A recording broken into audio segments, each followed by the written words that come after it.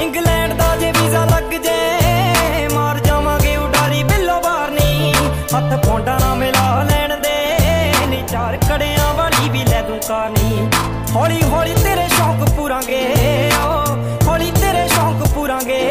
ਉਹ ਫੇਰ ਰੋਣਾ ਨਹੀਂ ਉਹ ਕਿਸੇ ਗੱਲ ਦਾ। ਫੇਰ ਜ਼ਿੰਦਗੀ ਬਿਤਾਉਣੀ ਇਕੱਠਿਆਂ ਬਾਪੂ ਹੋ ਜੂ ਤੇਰਾ ਸਾਡੇ ਵੱਲ ਦਾ।